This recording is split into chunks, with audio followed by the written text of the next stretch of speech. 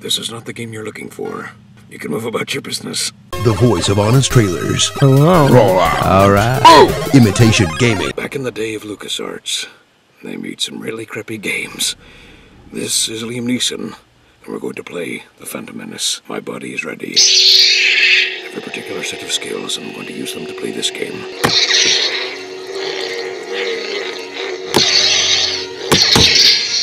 A long time ago in a galaxy far, far away, George Lucas decided to make prequels to the most awesomest movie he's ever made. It wasn't the greatest idea he ever had. A bad This feeling game is about proof that you can't just throw a lightsaber and the word Star Wars in a game and make it awesome. well. I have a bad feeling about this entire game. Don't let them cloud What your is plan. Qui-Gon? I have a feeling that's The not Trade Qui-Gon Federation Jinn. That's that king him guy system. from Will they Dragonheart.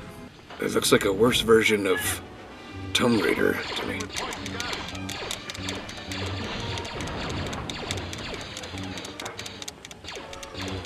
Wow, this control scheme is really horrible. I've found a blaster that you can't pick up unless you step directly on top of it.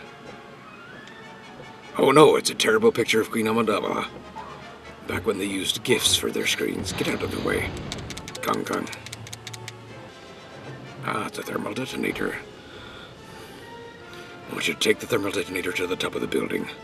Throw it. I will hear you. I want you to pull the pin out of the grenade. Count to three so I can hear it. And this, this perspective is one of the worst things ever. Door is open. Let's go. I can't get in there. Open the ding door. Ah, darn it. We're outnumbered. Follow me. They've locked us in. Ooh, look at those amazing graphics. And I can't see squat down here. Or shoot. Thing has the same powers as Emperor Palpatine. You'll pay the price for your lack of vision. Ah, oh, crapola. Ow. Stop shocking me, you jerk. Seems like it's such a logical thing to put all these mazes here. One of these doors might have opened. Perhaps it's this one. Oh, crap. I was not prepared for the door. This is the door I'm looking for. Ouch. Oh, It just cut me into tiny little pieces. Oh, that be that was painful. Well, that took long enough. This perspective leaves so much to be desired. From a certain point of view. Ah, Another dead end.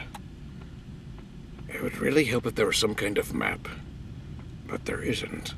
Do you see a map? And you can't open that door. That's where we came in. Maybe I can force push these things. Nope. Don't hurt me. I killed you anyway. Yes. Whatever it was, I just did it. I think I just. Oh no. Oh shoot. I can't take those guys on. Give me all of your powers. I've got. Ah, I found myself again. I will find you. Wow, these cutscenes are even slower than some of the old, old, old games. I'm almost out of here. As long as Jar Jar Binks doesn't show up, we'll be alright. I have no idea what I'm doing. There we go. No problem. I think I finally made it. Nope, more mazes. This game is amazing.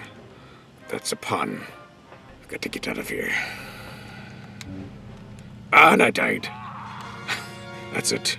I'm not playing this game anymore. It sucks balls. Great big sets of balls. I do have some money, but what I don't have is a particular set of gaming skills. If you like this video, share it and click subscribe. Click here for more imitation gaming videos. Click here for more epic voice reviews.